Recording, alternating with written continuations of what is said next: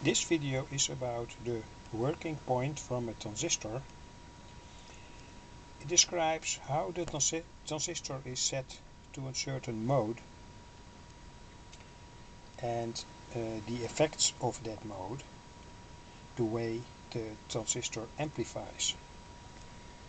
This is a very simple one transistor circuit with an NPN silicon transistor and the amplification, this is a grounded emitter mode, is set by the ratio between the resistor in the collector lead and the resistor in the emitter lead. Here this is 1K and this resistor can be changed between 1K and 0 ohms.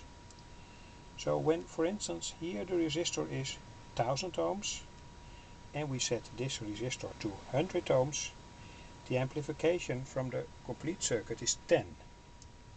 This also has a lot to do with the value from this capacitor. This capacitor um, decides in which frequency band and also how well the transistor amplifies. This uh, potentiometer here is very important it sets the working point from the transistor and that's what this video is all about. So um, I want to demonstrate that now by changing the value from this um, potentiometer.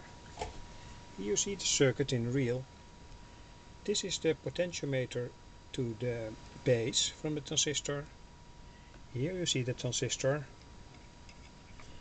This is the uh, potentiometer in the emitter lead it sets the amplification and we put in this circuit uh, a sine wave uh, oscillation from approximately 700 Hertz. It's led to the base by this um, capacitor. So now I want to demonstrate what happens when we change the value from the 25k potentiometer.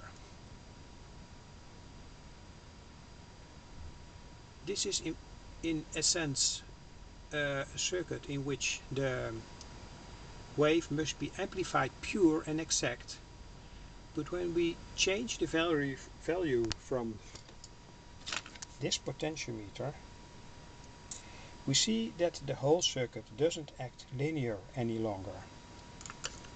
So the sine wave is not amplified well, not amplified properly.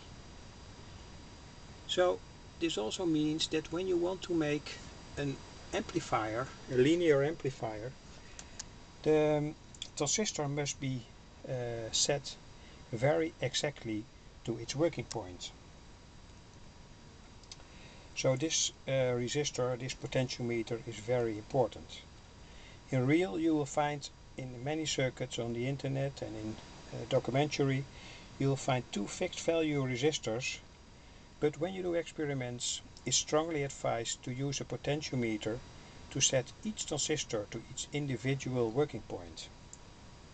It's very important. I want to demonstrate it again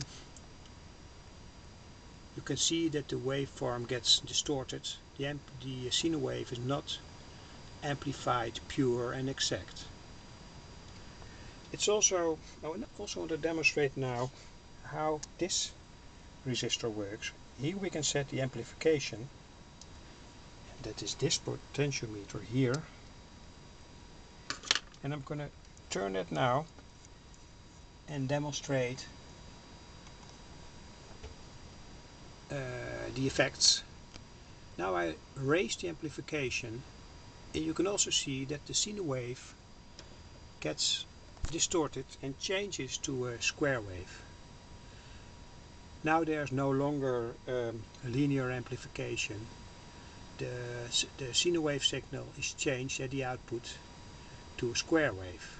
So that's also um, not good not good when you want to make a linear amplifier so um, hold the amplification under control by, by choosing a right value for this resistor. And also for this capacitor, this capacitor decides in which frequency band this amplifier works. So now I want to demonstrate two effects.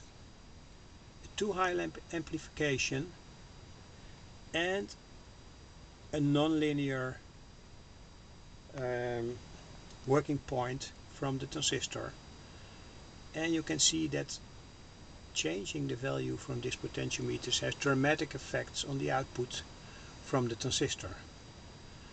The sine wave is now changed into a needle pulse and now into a square wave. And by the way, this is a, also very well usable as a simple audio amplifier, one stage audio amplifier. And you can take the signal here from the collector. This capacitor uh, can be uh, between 470 nanofarad and 10 microfarad. So this is the output. Uh, this is the location where you can find the output. And that's also here. This is the capacitor, 100 nanofarad. And here you can take the signal out.